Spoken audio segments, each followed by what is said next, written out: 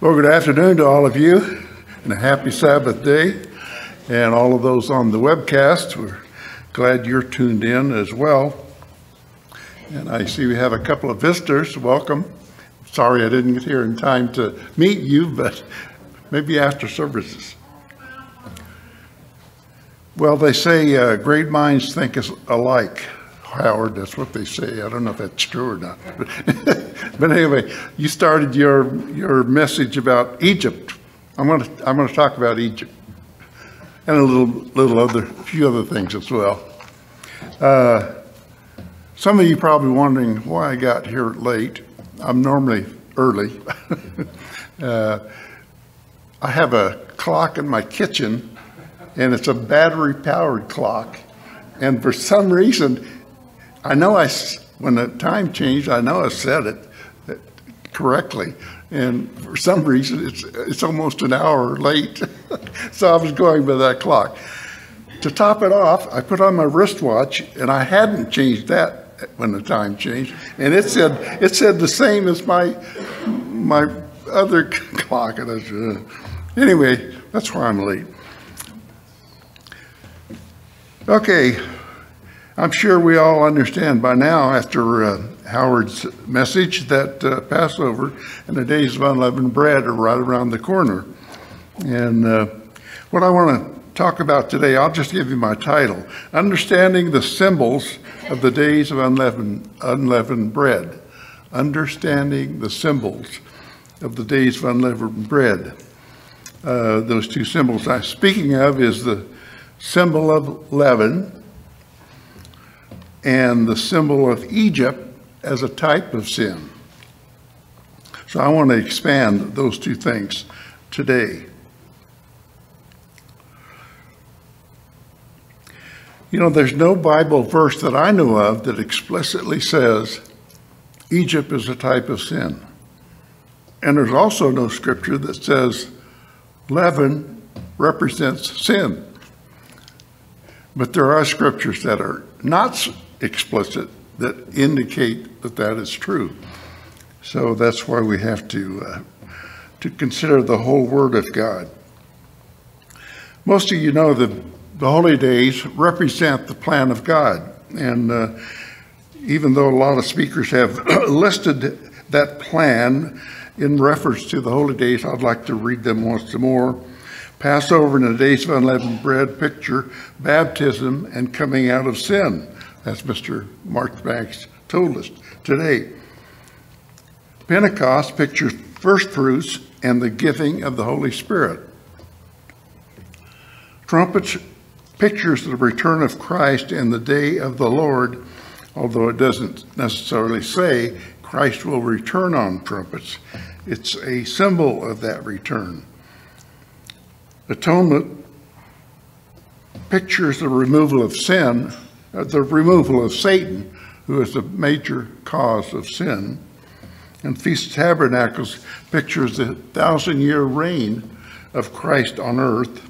And of course, the eighth day, uh, which many of us really like to think about, is that's when all people will have a chance to learn what you and I know. So, uh, so now we're, we're about to embark on the first one, the day Passover and the days of unleavened bread. And I've already, I remind myself at such a time here that there's no explicit statement that you know, indicates uh, those two symbols represent what they do. But let's look at let's look at some of the ways that leaven represents sin. My first point there is leaven is everywhere. And you, and you, you know that leaven is everywhere. It floats in the air. So it's everywhere. I, uh, in this regard, about 10 years ago, or maybe longer, I don't know, I, uh, I called the, uh, the company that makes uh, matzos for the Jews, and I think it's Manischewitz was the one was the one I called, and I asked to speak to the rabbi there that was in charge of, you know, overseeing things, and he wasn't in, so I left a message and I told him what I wanted to know. And what I wanted to know was, I read on the internet back then, 10 years or so ago, uh, that when the Jews make matzos for Passover, they make, they make matzos for other things, but when they make it for Passover, they when they mix the special wheat or special flour and the special water, and it's, they're special in certain ways, 18 minutes after they do the mixture, they say it must be in the oven. And why was why must it be in the oven? Because leaven is everywhere. So leaven comes down and settles, and they say we can't have that. It's got to be eight, 18 minutes. It's got to be in the in the oven. So I left the message on his. Uh, he wasn't there on his uh, answering machine or whatever it was. I don't know. 10 years ago, I don't know what they had for recording, but anyway, uh, a little later, he called back and I was gone, so he left a message on my recorder. And he said, Yes, we do observe that, except it's not 18 minutes, it's more like 13. big deal. but anyway, he made a big deal out of it. 13, 13 minutes or less, he said, something like that.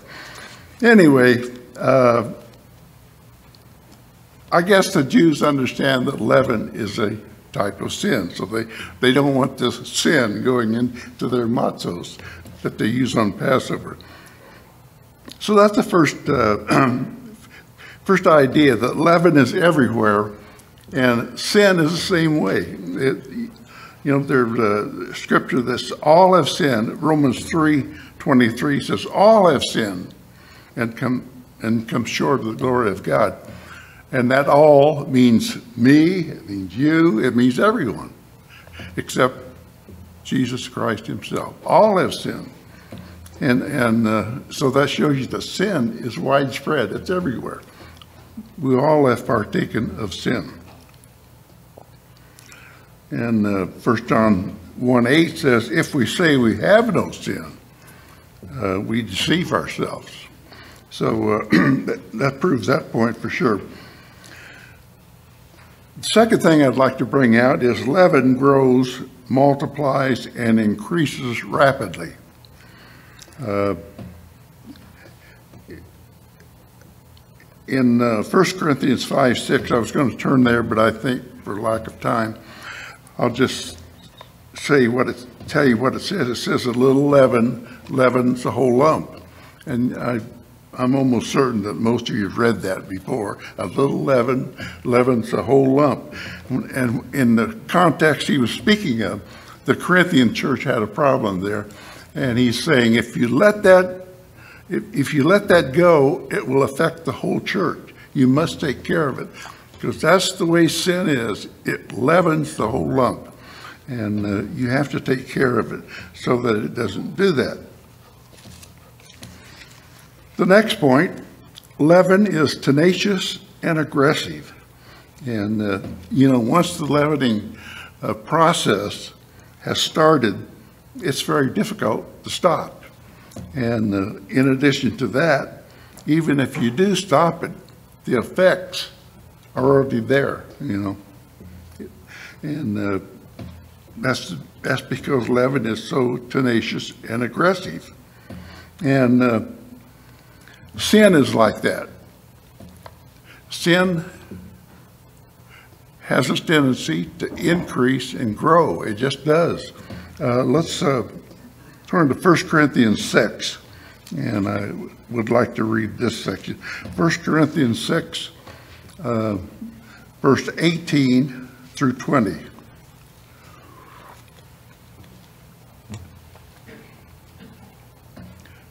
First Corinthians 6, verse 18. Uh, this is after Paul had handled that uh, problem in Corinthians. And he says, Flee sexual immorality, verse 18, 618. Flee sexual immorality. Every sin that a man does is outside the body, But he who commits sexual immorality sins against his own body. Or do you not know your body is the temple of the Holy Spirit who is in you, whom you have from God, and you are not your own? For you were bought with a price. Therefore, glorify God in your body and in your spirit, which, which are God's.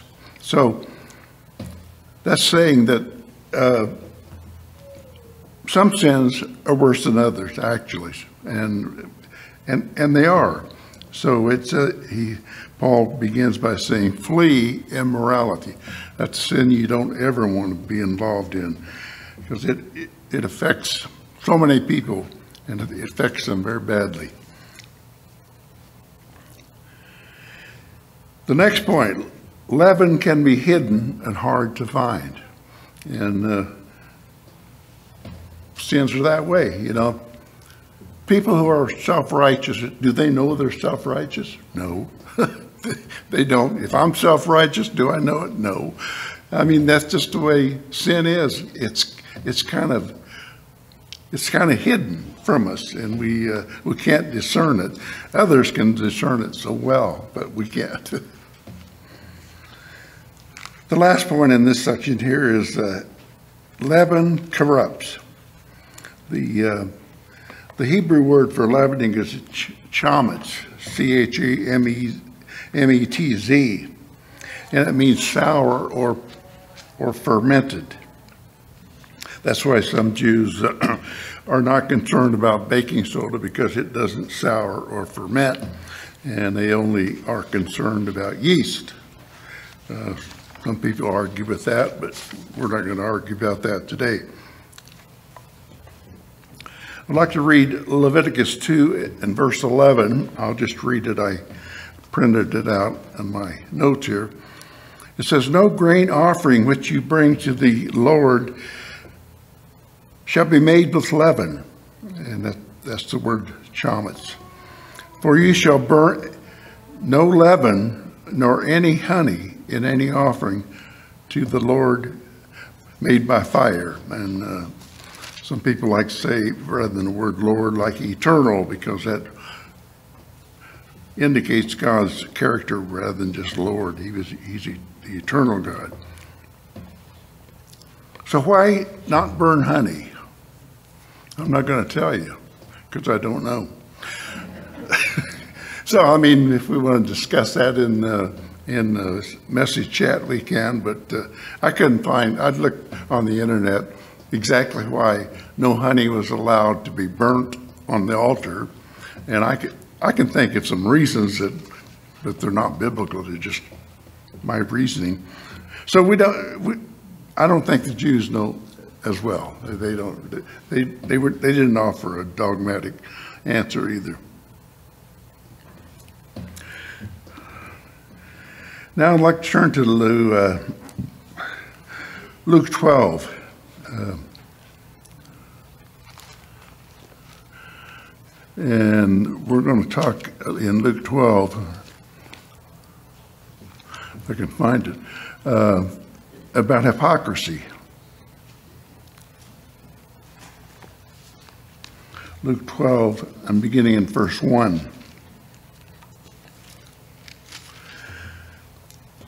Hypocrisy is a, is a vehicle that people used to hide things, perhaps to hide sin. Luke 12, verse 1 says, In the, in the meantime, when an, when an innumerable multitude of people had gathered together so that they tra- trampled one another, he began to say to his disciples, Beware of the leaven of the Pharisees, which is hypocrisy. For they for there's nothing covered that will not be revealed, nor hidden that will not be known. Therefore, whatever you have spoken in the dark will be heard in the light, and what you have spoken in the ear it, in inner rooms shall be proclaimed on the housetops. So, uh, we could go to Matthew 23 and, and uh, in, in Matthew 23, uh, Christ calls the, uh, scribes and the Pharisees hypocrites about six or eight times, and I don't recall how long, how many times. but that's what they were. They were hypocrites. They, uh, they, you know, they put on a show that they're righteous, but you know, in back rooms, they were figuring out how to get around the law. And then what could we do to look like we were obeying this law, but get around it some way? And uh, they have lots of ways of doing that. And uh, we shouldn't do that. But uh, another thing I would like to bring out here, and I've, I've mentioned this before years ago, that uh, the, the Greek word hypocrisy, or hypocrite, I guess I should, is not a bad word. Hypocrite in Greek just means an actor. And, uh, you know, people put, put actors on a, on a pedestal like they're some great thing. I mean, you know, some of the actors in Hollywood uh, like to talk about some of the governmental issues. Well, I, uh, I said, who wants to listen to them? I mean, do I really care what you, what you think? Uh, you're an actor. What do you know about it? But anyway, hip, hypocrisy was not a bad word in Greek, but in uh, in English we've uh, adopted the word. In, in, in English, it is a, a, negative word. Someone who is a hypocrite is uh, misrepresents themselves. You know, they uh, they say, "Oh, I'm so righteous," but uh, you know, don't don't go home and watch what happens there. You know. Uh, that's hypocrisy.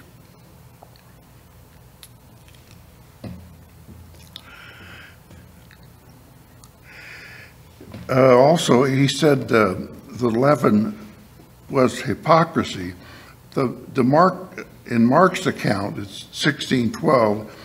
I'm not going to turn there. Uh, it says, Beware of the doctrine of the scribes and Pharisees. The doctrine. So in that passage, he represents uh, the leaven of the scribes and the Pharisees as doctrine. And uh, why did he say that? Well, uh, as we know, they, they try to, to make changes so that they could get around obeying God's law. They, they just don't like to obey God's law. You know, for example, uh, they say you, you can't swat a fly on, on the Sabbath. That's working. You can't do that. What do you do about a mosquito? I guess you let him, you, let, you let him go. But anyway, it's nonsense like that. That's the, you know, they have uh, 613 commandments and, you know, God gave 10. So anyway, uh, moving on, let's, uh, that's leaven. Leaven is a, is a symbol of sin. And you can see the uh, characteristics of leaven match almost perfectly sin, doesn't it? So now we, let's go on to about Egypt. Why is Egypt a representation of sin?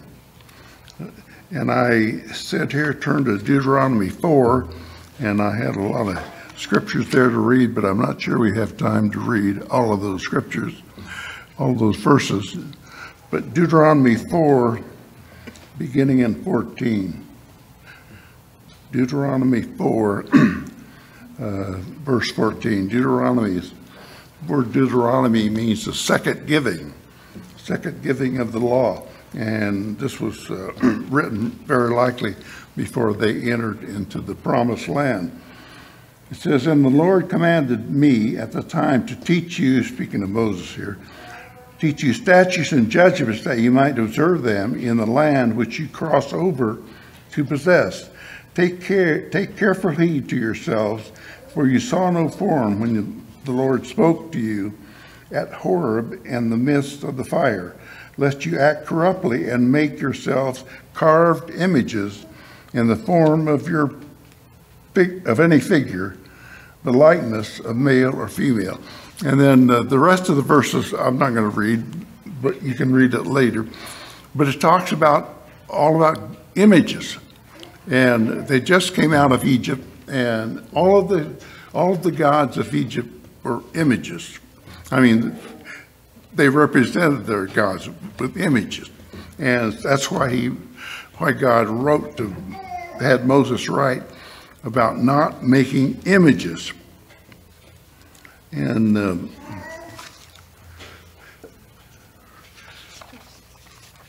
there's there's a little bit of irony in uh, in what happened in Egypt.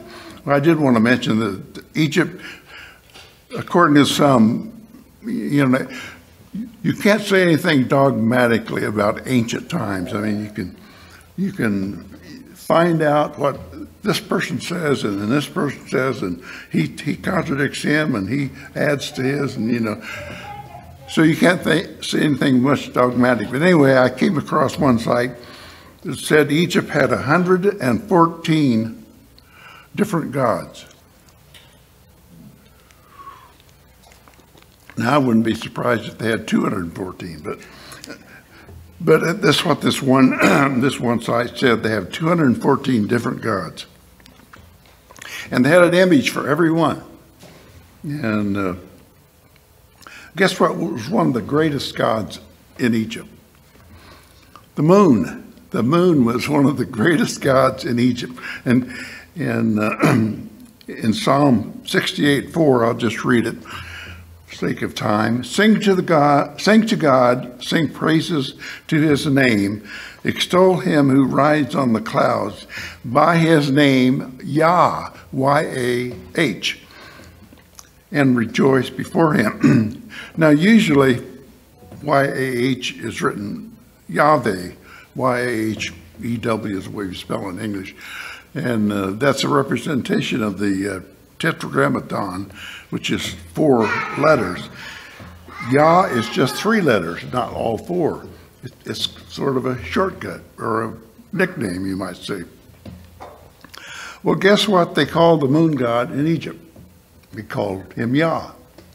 And uh, I, I, I told you that disclaimer because other people say, well, I don't know if it was Yah, it was this word, huh? It was this word. But anyway, uh, Many people agree that Yah was one of the names of the moon god, but the moon god had a couple other names. And the reason why there's confusion is because that comes from hieroglyphics. And uh, can you read hieroglyphics? I can't. they don't make sense to me. But some people claim they can. And uh, so that's why there's a little difference. And uh, the reason I bring that out is uh,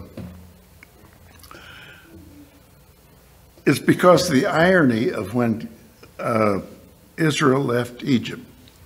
Uh, they left Egypt on the 15th day of the first month. So, what happens on the 15th day of the first month? In the Hebrew calendar, the 15th day of every month, there's a full moon. The moon is up there and it's full. It's not, it's not a crescent, it's full on the 15th. The, in the Hebrew calendar, usually 13, 14, 15, and 16 all look full, but it's really full on about the 14th or 15th. And, uh, you know, astronomers today can measure that. And this year, the, mean, the moon will be full on the 15th of the Hebrew month. And uh, we'll, take the, we'll take the Passover beginning on the 14th but it's, the moon is full there. So consider that, uh, I don't know if this is relevant or not, it's just a thing that I thought about. Think of what happened when, when God brought Israel out of Egypt. They marched out on the night of the 15th, and Numbers 33 3 says, in the sight of all the Egyptians. And Deuteronomy 16:1 says they left at night. So how, how did they leave at night and the Egyptians saw them? The full moon. The, the moon was shining brightly, and of course, not many clouds in Egypt. And uh, so it was like daylight for, you know, in a, in a desert place, a full moon is like daylight almost. So they saw them marching out of Egypt. And uh, who was giving them the light to march out? Their God, the Egyptian God was giving them light. Like I say, I don't know if that's that relevant or not. But consider one other thing about Egypt. Who do you suppose was the first country to use leaven to leaven bread? Egypt. Egypt, scientists are, are, are pretty uh, agreed on this, that Egypt was the one, was the ones who first figured out how to use yeast and make bread rise up. Now, there's nothing wrong with uh, bread that's uh, risen. It's good, but not on the days of unleavened bread. And uh, so, again, I think that's kind of ironic that Egypt, uh, I, I was going to use the word invented, they didn't invent it, discovered. Egypt discovered uh, using yeast to uh, make bread rise. They also invented beer, and I kind of like beer, so it was a good idea. anyway, that's probably uh, just a, maybe it's just a coincidence, I don't know, but it's interesting to think about.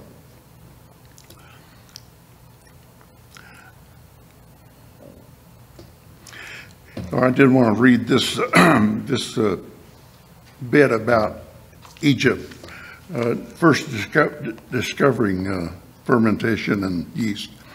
It says hieroglyphics suggest, this is a quote from a, site called The History of Yeast.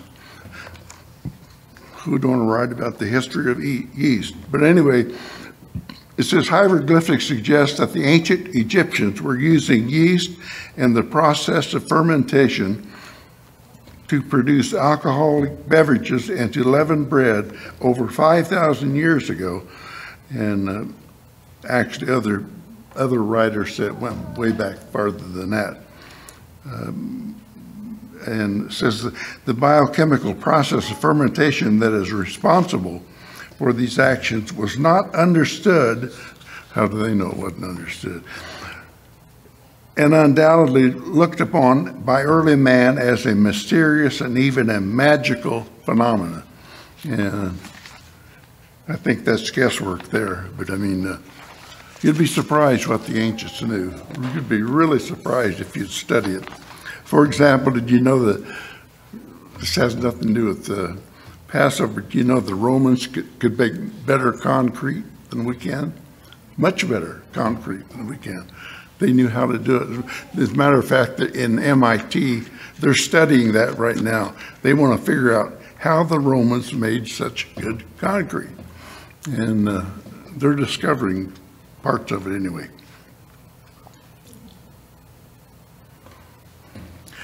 So anyway, uh, Egypt had uh, hundreds of gods, and they had images, and God says, "Don't, don't learn those images."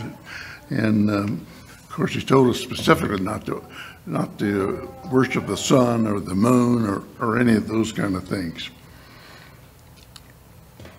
But what, is, what has Israel done and what have we done? In Hosea 8, and I'll just read this Hosea 8, verse 11 through 13. And it says this Because Ephraim, uh, one of the major uh, tribes of Israel, has made many altars for sin, they have become for him altars for sinning. I have written for him the great things of my law, but they were considered a strange thing. For the sacrifices of my offerings they sacrifice flesh and eat it, but the eternal does not accept them. Now he will remember their iniquity and punish their sins. And then it says a strange thing. They shall return to Egypt. This was after David was out of Egypt. And it says they will return to Egypt. Did Israel ever return to Egypt? No, they never did. So what does this mean? Well, it means that it means that they and we have returned spiritually to Egypt. And if you look at what's happening in this country of ours, you can see that. Look at what's happening. Some of the some of the oddest things are happening about, you know, transgenderism and all of that stuff. That's returning to Egypt. That's what we're doing. We're returning to Egypt. And you might say returning to Babylon, it's the same thing. They're, they're, both, they're both the same thing, really, whether it's Babylon or Egypt. But anyway, I'm out of time, so let me uh, say this. Uh, the days of unleavened bread uh, teach us that leaven is everywhere.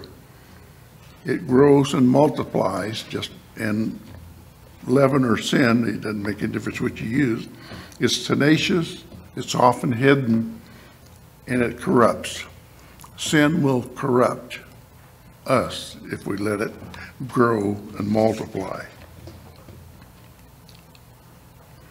And uh, 1 Corinthians 6 16, Paul writes this in uh, closing this particular section of his What agreement has the temple of God with idols? For you are the temple of the living God. As God has said, I will dwell in them and walk among them. I will be their God, and they shall be my people. Therefore, come out from among them and be separate, says the Eternal. Do not touch which is unclean, that which is unclean, and I will receive you. So we need to learn the lessons of unleavened bread, Passover and unleavened bread, and uh, make sure that uh, we, how does it, as it, examine ourselves, that is the word I was trying to think. We need to examine ourselves to make sure that that hidden sin is not within us and uh, be ready for the Passover and the days of unleavened bread.